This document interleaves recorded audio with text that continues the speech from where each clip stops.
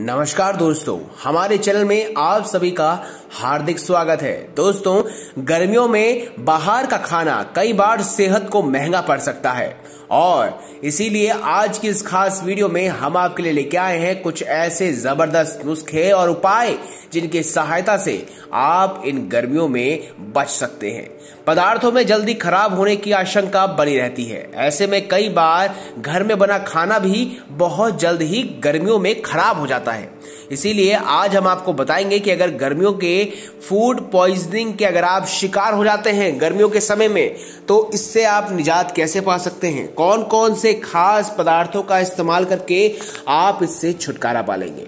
दोस्तों, सबसे पहली चीज़ है नींबू। जी हाँ नींबू में एंटी इन्फ्लामेंट्री एंटी बैक्टीरियल और एंटी वायरल गुण मौजूद होते हैं। इसीलिए इसे पीने से फ़ूड पॉइजनिंग वाले बैक्टीरिया मर जाते हैं। आप खाली पेट नींबू पानी बनाकर भी पी सकते हैं या फिर चाहे तो गर्म पानी में नींबू निचोड़ कर भी पी सकते हैं।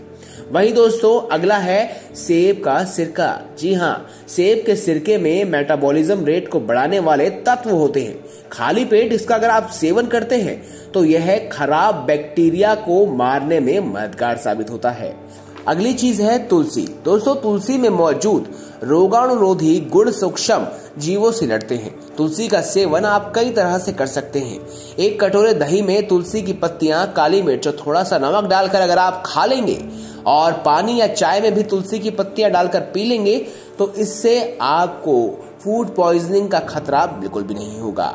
वहीं दोस्तों, अगली चीज़ है दही। जी हाँ दही एक प्रकार का एंटीबायोटिक होता है। इसमें थोड़ा सा काला नमक डालकर अगर आप इसे खाते हैं तो इससे भी आपको बहुत फ़ायदा होगा। अगला है लहसुन। लहसुन में एंटी फंगल गुण होते हैं। आप सुबह खाली पेट लहसुन की कच्ची कलियाँ पानी के साथ खा सकते हैं।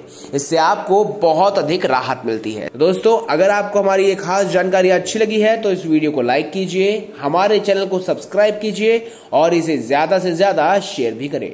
धन्यवाद।